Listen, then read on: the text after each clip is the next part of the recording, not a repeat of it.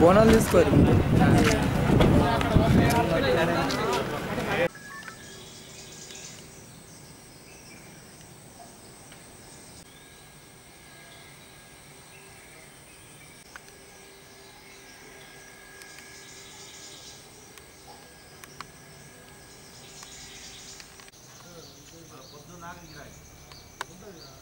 వాళ్ళు మూడే రోజులు మంగళవారం మళ్ళీ తీసుకుని రోజు మంగళవారం వేస్తారు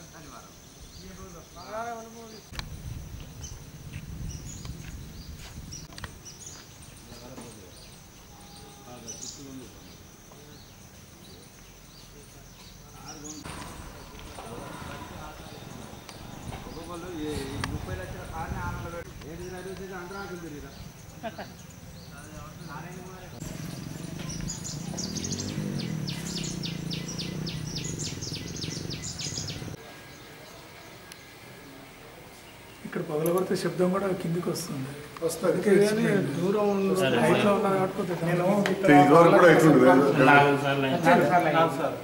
సౌండ్ నచ్చింది.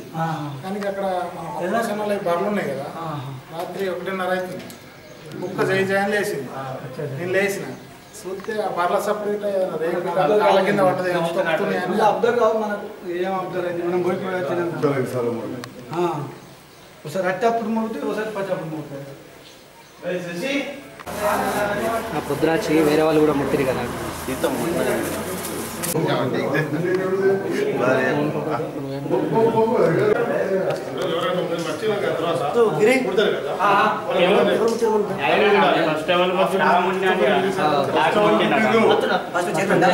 అంటే ఎట్లా వస్తుంది ఇట్లా చూసి మళ్ళీ ఆడనే. ఆడనే ఉంది ఆడనే తలుపులు ఇట్లా ముట్టిరా? ఏ తలుపులు ఓన్లీ తాళం.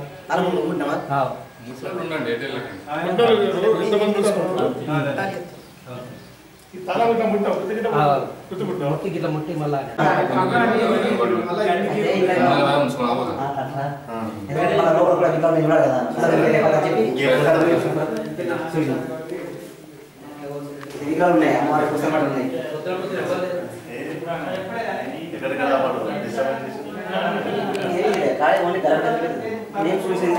ఆ. తల ఇట్లా ముట్టావు, కొద్ది గిట్ట ఆ. గుర్తు ముట్టావు. ముట్టి గిట్ల ముట్టి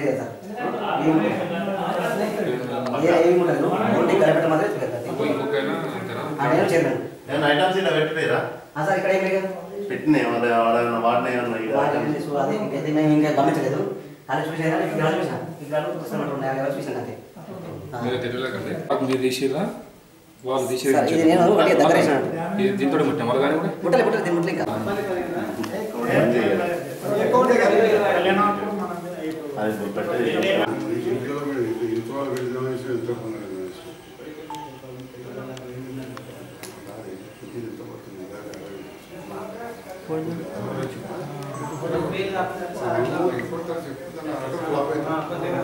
మనం చెప్పేదానికి వాడు సందర్భంగా పెద్దగా రెండోది రికవరీ కష్టం ఉంది కదా నాగ- నాగేంద్ర నాగేంద్ర వెంకటేశ్వర స్వామి అంటే ఏ రాదు. కదా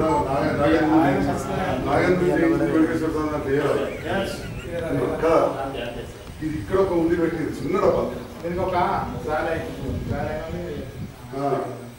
చుట్టూ ఒక జాలై కానీ ఇప్పుడు కానీ లాక్ తీస్తారు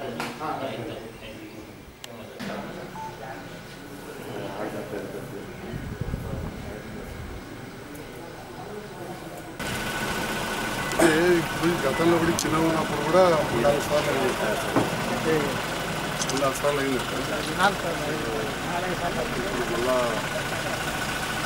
ప్రతిష్టానికి చాలా మంది భక్తులు వస్తారు ఇప్పుడు కూడా చూస్తే అక్కడ శివుని దగ్గర బండి ఉంగరాలు చేసి కూడా పెట్టుకుంటారు. పుట్టక్కడ ఆ లక్కీలో వాళ్ళు ముట్టలు వాళ్ళకి అదే అలవాటు అయ్యి అదే పట్టుకుంటున్నాయి వీళ్ళు కూడా మూడు నెలల నుంచి కొంచెం ఉండి పద-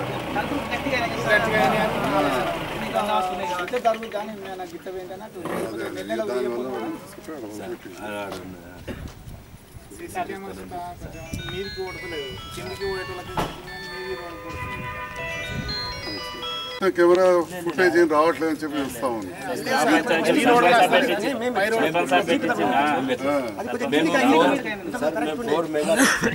ఐపీ కెమెరాలో పెడుతున్నాం. ఐపీ కెమెరాలో పెడితేనే అది మాకు అనుసంధానం అవుతుంది. మాకు మాకు చూడడానికి మరి ఇక్కడ ఒకటి మన తరఫున. మన తరఫున మా తరఫున తప్పకుండా. ఉండి మధ్యలో దాన్ని తీయలే దానికి తాళం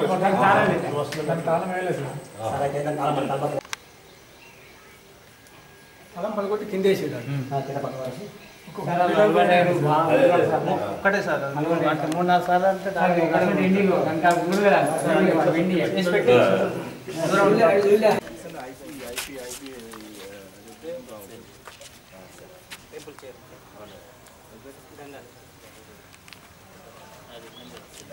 నేను పొద్దున ఆరు ఆరు పది నిమిషాలకు గుడికి వచ్చిన వచ్చేసరికి తాళం తీసి పక్క పెట్టినది.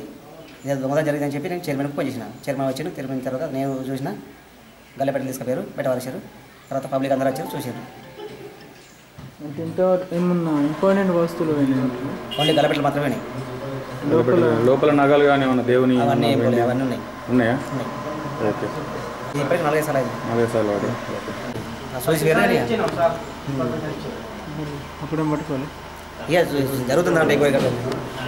జగిత్యాల మండలం అర్బన్ మండలం అంబార్పేట గ్రామంలో గుట్టపై వెలిసిన వెంకటేశ్వర స్వామి ఆలయం ఉంది. ఇక్కడ చాలామంది భక్తులు వస్తూ ఉంటారు.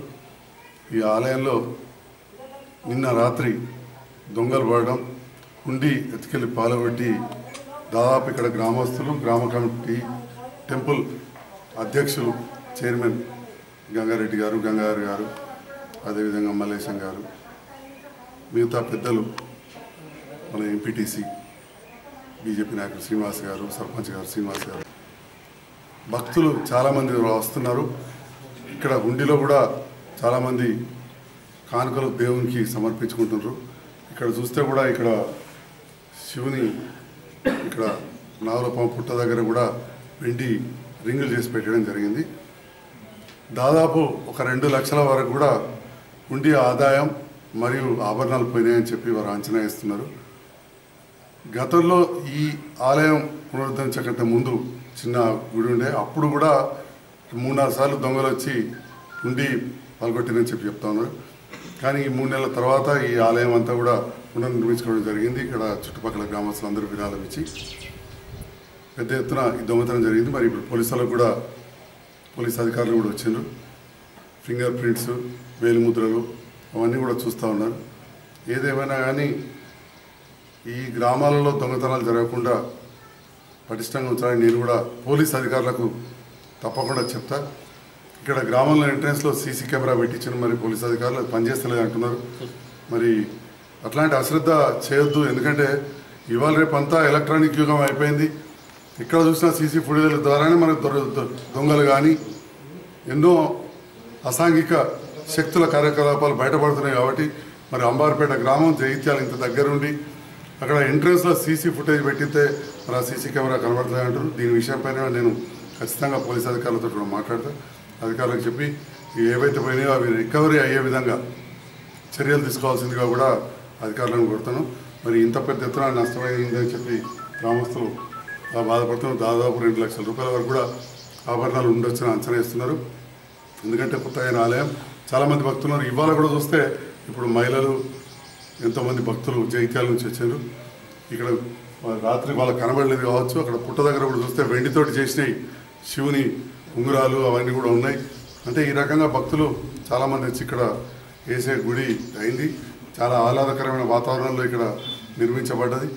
మరి దీన్ని పోలీస్ అధికారులు తప్పకుండా దీనిపైన చర్య తీసుకొని దీనిపైన ఇన్వెస్టిగేషన్ చేసి ఈ నగలు లేకపోతే హుండీలోని ఆదాయం రికవర్ అయ్యేలా చూడాలని కోరుతా. అదేవిధంగా వివిధ మందిరాలలో ఎక్కడైనా కానీ ఇట్లాంటివి జరిగితే దీన్ని తీవ్రంగా పరిగణించాల్సి ఉంటుంది. ఎందుకంటే ఇది ఒక డబ్బుతోటి కొడుకున్న విషయం కాదు. మన సాంప్రదాయం అనుకోండి మన ఎన్నో విషయాలలో దీని ప్రాధాన్యత ఉంటుంది. ఒక డబ్బే కాకుండా అందుకోసం చెప్పి కొన్నిసార్లు అయితే ఇటువంటి వాటిలో జరిగినప్పుడు ఇంకో మతం వాళ్ళు చేసిరని అది ఇదని కూడా మాట ఆరోపణలు వచ్చి మత కళాలకు దారితీసిన సంఘటనలు ఉన్నాయి. అది ఏ మతమైనా కానీ. కాబట్టి అట్లాంటివి జరగకుండా ఆలయాలలో కూడా ప్రతి కాడ కూడా కెమెరాలు పెట్టి అక్కడ కూడా దొంగతనాలు జరగకుండా చూడాలని చెప్పి నేను పోలీస్ అధికారులను తప్పకుండా కోరుతాను పొద్దున ఉదయం ఆలయ పూజారి గారు ఫోన్ చేయగానే తొందరగా ఇక్కడికి రావడం జరిగింది. నిన్న రాత్రి దాదాపు పది గంటల వరకు గ్రామ ప్రజలు ఒక ఐదు వందల మంది దాకా ఇక్కడికి వచ్చి భజన వేసి పది గంటల తర్వాత అన్ని తాళాలు వేసుకొని వెళ్ళినాం. రాత్రి భజన అయిపోయిన తర్వాత మా ఎప్పుడు యథావిధిగా పంతులు గారు రోజు నాలుగు గంటల వరకు టెంపుల్కి రావడం జరుగుతుంది. ఆయన చూసి ఇట్లా ఆలయంలో దొంగతనం జరిగిందనగానే నేను కూడా తొందర ఇక్కడికి వచ్చి చూసేసరికి ఇక్కడ తాళాలన్నీ పగలగొట్టి ఉన్నాయి లోపల గర్భగుడిలో కూడా విలువైన విగ్రహాలు ఉన్నాయి. గర్భగుడిలో ఎటువంటి కానీ దాదాపు మూడు నెలల నుంచి ఉండి ఆదాయాన్ని మేము ఓపెన్ చేయలే. కమిటీ సభ్యులు అందుబాటులో లేక ఓపెన్ చేయలేకపోయినాము.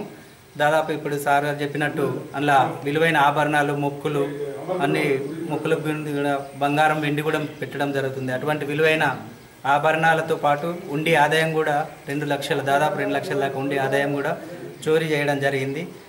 ఇలా ఇప్పుడే మొదటిసారి కాదు వీడికి రెండు మూడు సార్లు జరిగితే కూడా గతంలో మేము పోలీస్ స్టేషన్లో కూడా కంప్లైంట్ ఇవ్వడం జరిగింది. అప్పుడు నైట్ కూడా వాళ్ళు నైట్ ఒంటి గంట మధ్యలో వచ్చి పెట్రోలింగ్ రావడం జరిగింది. అప్పటి నుంచి మళ్ళీ ఇప్పటి వరకు ఇది మొదటిసారి ఇప్పుడు మళ్ళీ జరగడము. ఇటువంటి మళ్ళీ జరగకుండా కూడా మాకు పోలీసుల నుండి కానీ మిగతా అందరి నుండి సహకారం అందేటట్లు ఇప్పుడిప్పుడే గుడి చాలా అభివృద్ధి చెందుతుంది కాబట్టి మళ్ళీ భవిష్యత్తులో ఎటువంటి అవంతరాలు జరగకుండా ఉండాలంటే గ్రామం తరఫున మేము కూడా మరియు మాకు రక్షక భటుల నుండి కూడా పోలీసు వాళ్ళ తరఫున కూడా అధికారుల నుండి కూడా మాకు సహాయం అందిస్తే ఇంకా ఇ- ఇటువంటి జరగకుండా మేము కూడా చూస్తామని.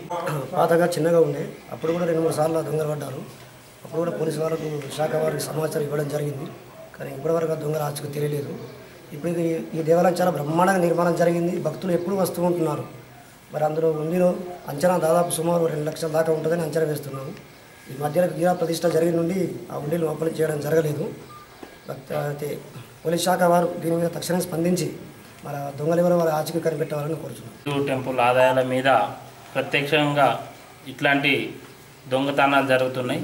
దీని మీద ఏందిగా అంటే పోలీసు యంత్రాంగం కానీ ప్రభుత్వం కానీ చొరవ ఎందుకంటే గ్రామస్తులే సొంత డబ్బు వేసుకొని చందాలు వేసుకొని ఇక్కడ దాతల ద్వారా ఈ టెంపుల్ ఇంత పెద్ద నిర్మాణం చేసుకున్నారు. ఎందుకంటే ఒక సీసీ కెమెరా కూడా గవర్నమెంట్ నుండి టెంపుల్ కాడ ప్రొవైడ్ చేసినట్టు ఉంటే ఇట్లాంటి దొంగతనాలు జరగకుండా ఉంటాయి. ఎందుకంటే ఊరి మీదకి వెళ్ళి ఒక పూజారిని పెట్టుకోవడం జరిగింది. ఇంత డెవలప్ అయినా కూడా ఇంత ఆదాయం వస్తుంది. గవర్నమెంట్ నుండి కూడా సహకారం ఉన్నట్టుంటే మరి హిందూ టెంపుల్కి ఎంతో రక్షణ ఉంటుంది కనుక తక్షణమే గవర్నమెంట్ నుండి కూడా వీళ్ళు ఎవరైతే ఉన్నారో ఆదుకోవాలని చెప్పి ఇది ఎందుకంటే టెంపుల్ను తక్షణమే ఆదుకోవాలని చెప్పి డిమాండ్ చేస్తాం